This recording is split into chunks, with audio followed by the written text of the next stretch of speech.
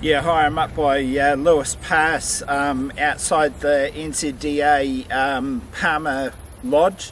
Um, I'm going to be heading up the Nina Valley today. Um, there's a few cars here, so hopefully I don't end up sleeping on the floor of the hut. Um, yeah, because there's uh, five cars here as well as me. So um, it's about a three, three and a half hour journey up to the hut um, and uh, roughly around about 10 kilometres. And so what I'll do is I'll just uh, sort my gear out and then I'll head off up and head up the valley. So the uh, Nina trek just starts on the other side of the highway over there. Um, and um, I'm just packed here at uh, Palmer Lodge at the moment. Um, all of the cars that are here, have, they're cold, the engines haven't been running, so hopefully um, these people were up there last night and at least some of them will be coming out. Um, there are five huts up this valley, so they may have gone to one of the other huts as well. Uh, this is the one that bothers me because you could get 10 people in that van. There's the entrance to the Nina Valley just over there. Right, we're on the trek.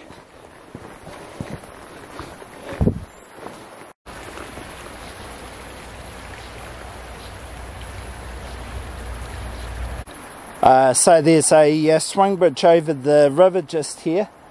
That's the Lewis River coming down from Lewis Pass. And then we're heading into um, forest after that.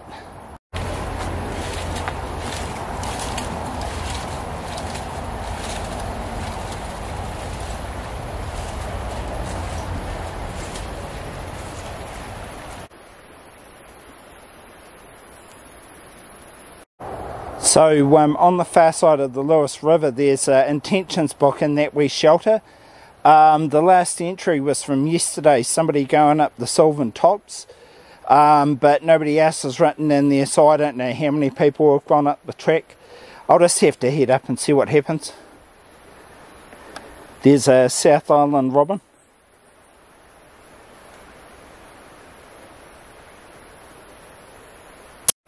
And then we're just uh, heading up the track here, um, heading up to the hut.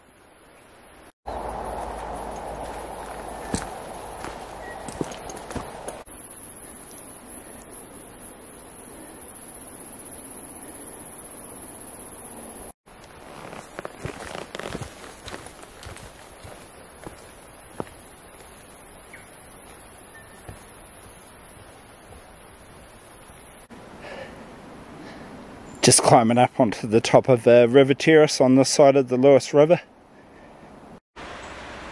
It's looking down on uh, the Lewis River and the highway over there. We're heading that direction.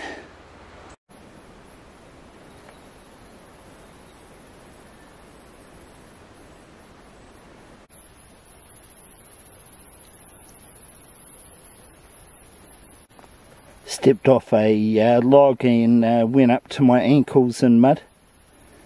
Stupid because I've got my gaiters, I should have put them on before I started walking.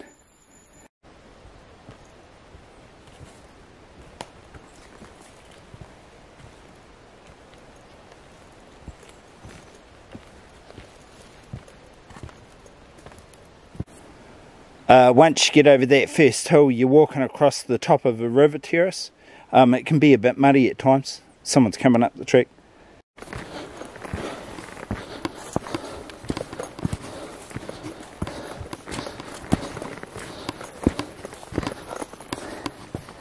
You got to stay up on the logs because it's real muddy. So you're walking across an open area like this for oh probably about the next kilometre. Yeah, this is just about the only pace on the track where you can make a bit of pace.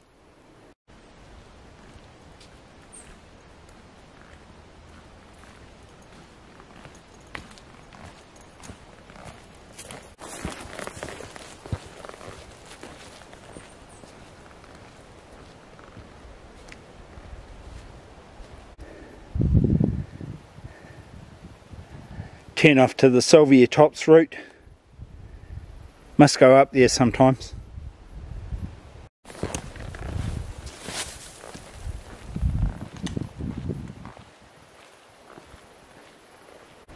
I'm just sidling around towards the um, footbridge over the Nina River. It's probably about maybe 20 minutes walk away.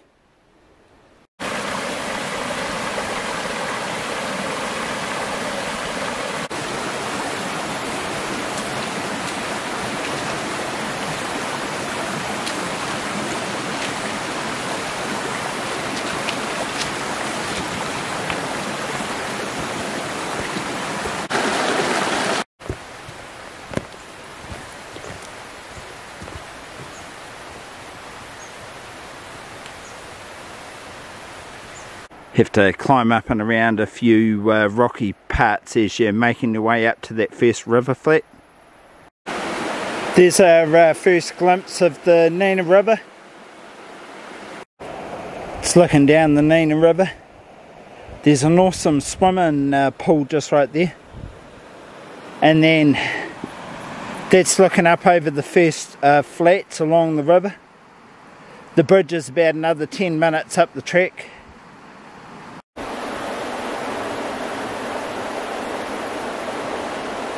So there's the uh, footbridge over the um, Nina River. It's about a third of the way to the hut. Yeah, so I'm at the um, Nina Bridge, the bridge over the Nina River. Uh, that's about a third of the way along the track. Uh, it's taken me about an hour and a quarter to get to this place, so I'm running a wee bit slower than the stated track times. Uh, that's because I'm stopping to film and stuff um, from here I cross over the bridge and then you're on the other side of the river on the true right for the rest of the way and you're slowly climbing up to the knob where the hut sits. Yeah and uh, so it's like two hours from the other side of the bridge to the hut uh, roughly round about five to six k's. Yeah. I'm just going to have a rest and a drink of water uh, for five minutes and then I'll get on my way again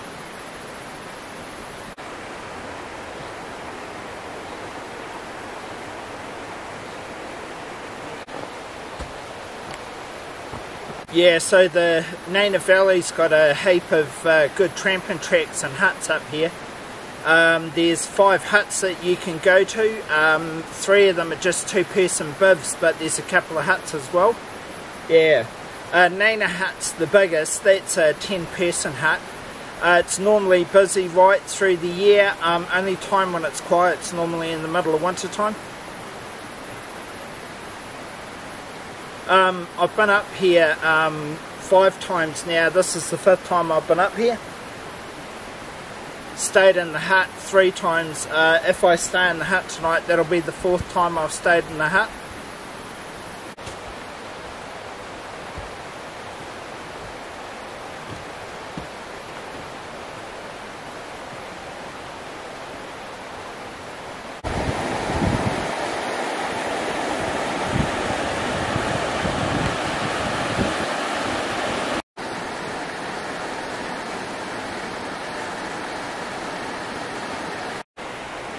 So we're just walking up the uh, true right of the river.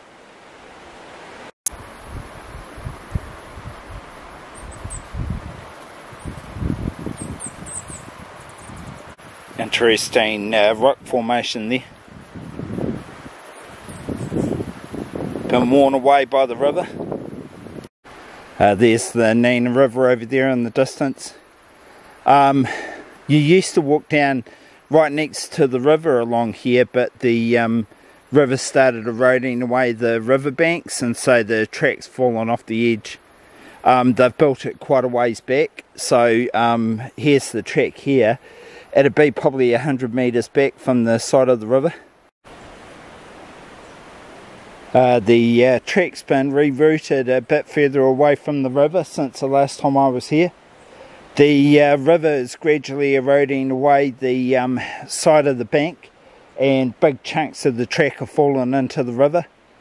This is a bit more uh, uh, difficult this way because it's uh, very rooty and muddy and um, not very well formed.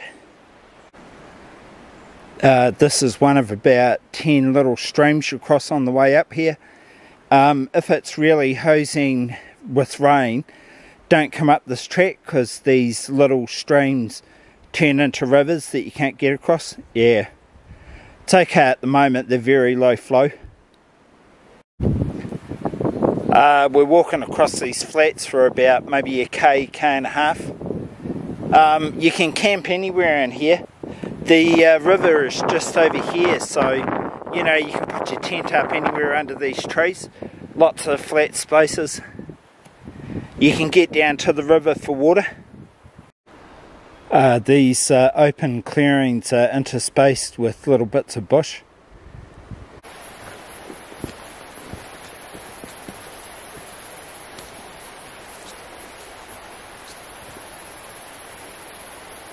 Uh, I'm high up above the uh, Nina River climbing around a gorge. Yeah, probably about two thirds of the way to the hut. I've been walking for about two hours and 15 minutes now.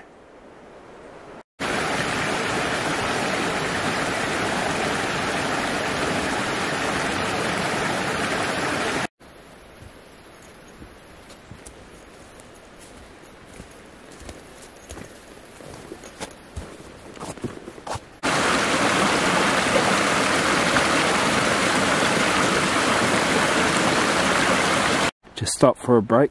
Um, I've been walking for about two and a half hours now. Yeah, uh, I, I think I'm probably about maybe a K, maybe just over a K away from the hut. Um, I had a look at the map and, and that's what I think it is, but it's hard to tell because I can't see any of the surrounding hills. Yeah. Doesn't matter anyway, just got to keep walking. So I'm just going to have a snack and a drink and then I'll keep walking.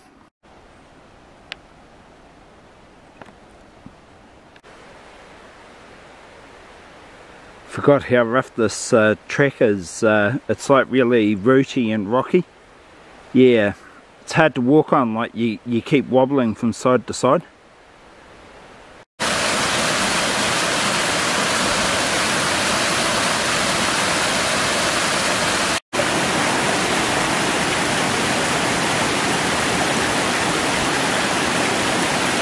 Starting to drizzle. I won't put my jacket on, I'll just get so hot. Um, it's really, really hot. It's like 30 degrees, so I'm really uh, struggling up this track and sweating like a pig. Uh, I'm about half a k away from the hut, probably about 20 minutes walk. Uh, so for the last section of the trek, you're walking up through this um, goblin forest. Um, there's like moss and uh, leech and lichen all over all the trees. Yeah, and uh, you're climbing right up to the hut. Um, I'm climbing up the last hill to the hut. It's only a couple of hundred metres away. I'm pretty naked actually. It's quite a hard walk.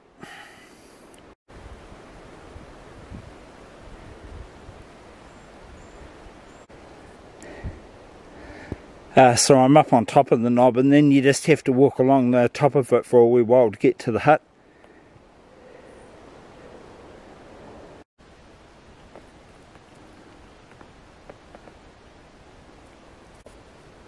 Uh, there's Nina Hut just there. Finally got there.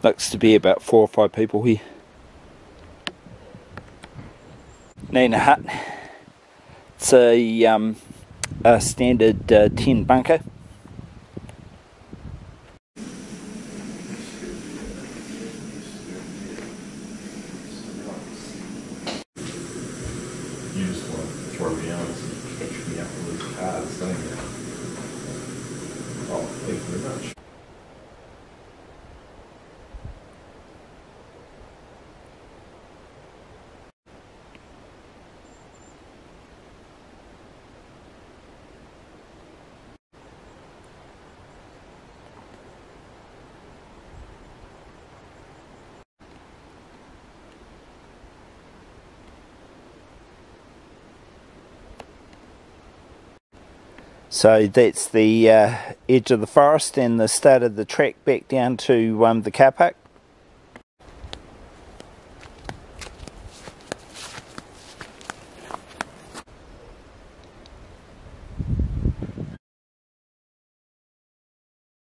Holy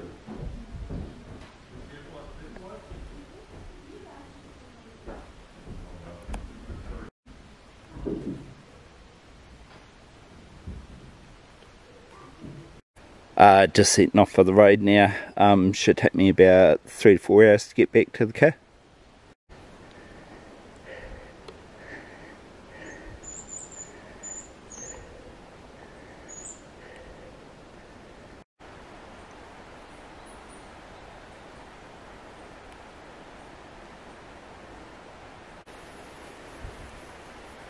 It's a bit of up and down as you're moving along the sidle track.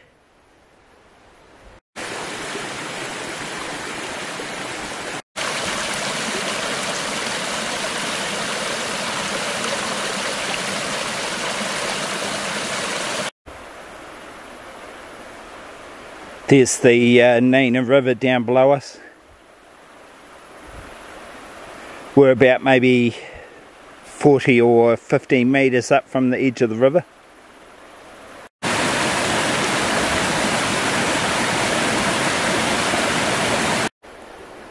Yeah, this uh, sidle track here, um, heading up to the hut is uh, quite hard walking like it's really unstable and there's lots of uh, roots and rocks and stuff so you're kind of wobbling around all the time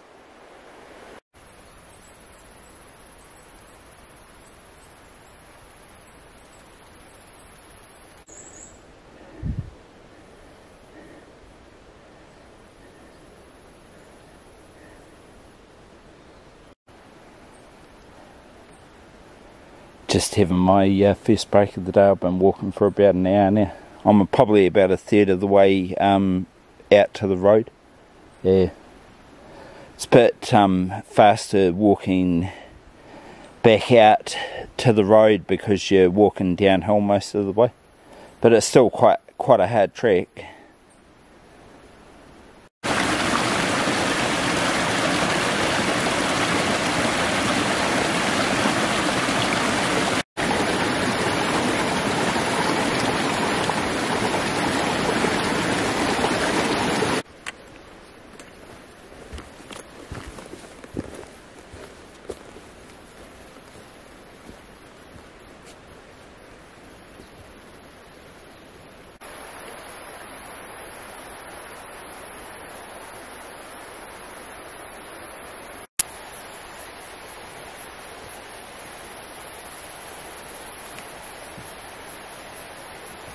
Um, I'm back down on the river flats again. So I'm walking across the flats for probably about maybe two kilometres. Um, there is still a bit of forest and up and down in that space. It's not perfectly flat. Uh, and then I'm uh, walking up and sidling round to the bridge. So yeah.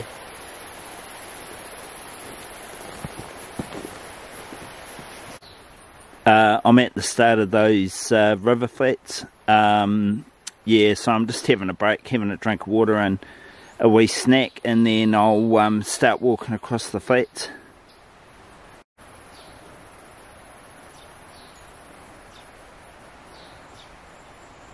There's lots of good uh, potential uh, campsites up here on these flats. Just tuck yourself into the trees a wee bit. Just keep making my way down towards the bridge.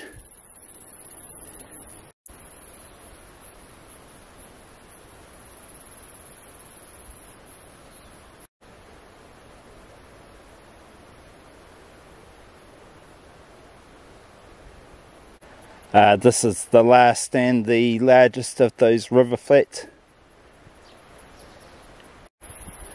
There's a wee campsite there. Someone's uh, stacked some wood up for it to dry. Yeah, uh, fire stones there where they've had a fire pit. That looks like it's been there for a wee while. Uh, I'm back in the forest now, um, all the way round to the bridge. So it's about a k from here to the bridge. So here's the track here. It's probably about 100 metres away from the side of the river over there. So you used to follow the track along the edge of the river, but um, now it goes inland because the uh, track's eroding. The new bit of track is running along a slightly higher terrace farther away from the river and uh, heading down to the bridge. Uh, we're just about at the bridge. There's that uh, big rock formation um, that's a couple of hundred metres down from where the bridge is. Yeah. I'll stop on the other side of the bridge for five minutes um, and have a drink of water.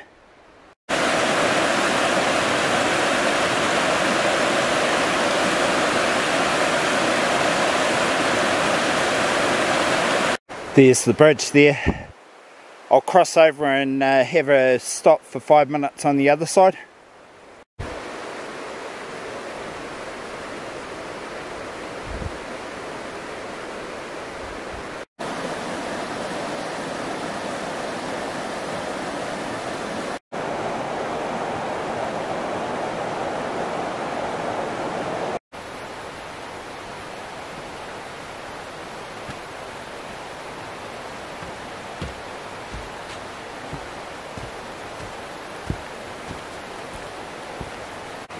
Yeah, so after I have a break, I'll um, sit off uh, out to the road. Um, takes between an hour and an hour and a half to get out there. Says an hour, but the track's pretty rough. Just have to sidle back around to the Lewis River. Uh, this uh, river flat's um, designated on the topo maps as a backcountry campsite. Um, there's no facilities here whatsoever, but you got the river there um, there's some nice flat ground and there's some um, campsites tucked into the trees. So yeah, it actually would be quite a nice place to camp.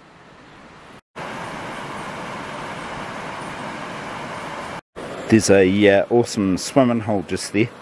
It's really deep, um, oh, over my head height, probably about 8-9 feet deep. And it just goes down, down over to there probably wouldn't be that bad at this time of the year. Yeah, so that's where you go back up on the track and start sidling around.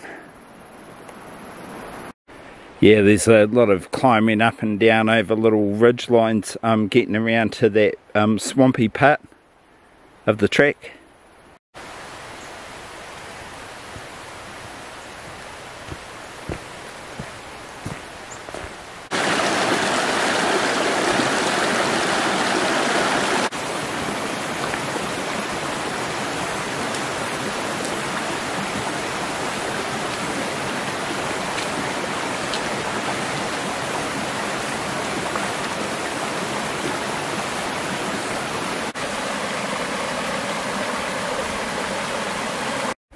Um, just on the uh, edge of that uh, swampy area where it's all open. Um, yeah, and then I'll just pass over there.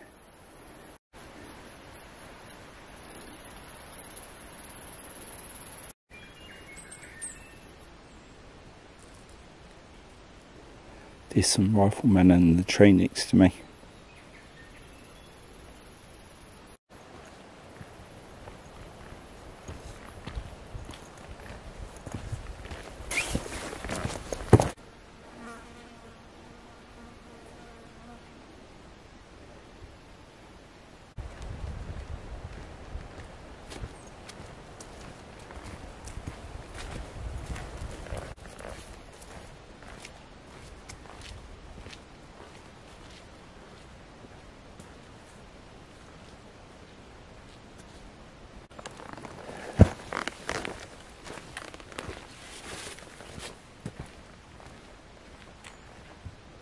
Um, I'm just over a k from the uh, end of the track. Um, those uh, trap line um, markers are put out every 100 metres, and so it's 1100 metres from here back to the start of the track. I still have one ridge to uh, climb up and over. Um, and then it's um, sidling back around through the forest to that bridge across the Lewis River. Yeah, so uh, this is the hill that I have to climb up over. The old uh, New Zealand Forestry Service rangers were uh, infamous for chucking in stupidly steep pieces of track right before you get to the end of a track. It was, it was almost like a joke, I think, to them.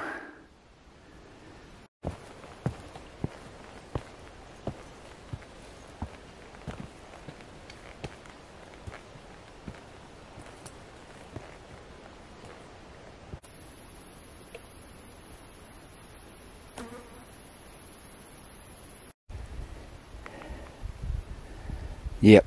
So uh, just heading down the far side of that um, wee rise and then walking around to the bridge. Uh, we're almost at the end of the track. I can hear the cars off in the distance and I can just see the highway through the trees. Yeah, about another 10 minutes. There's the Lewis uh, River. The bridge is just up round that um, bend in the river over there.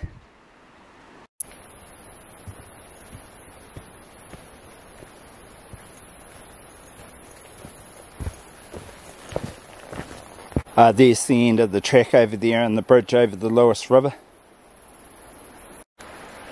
Uh, just back over the bridge and then that's it, um, end of the track.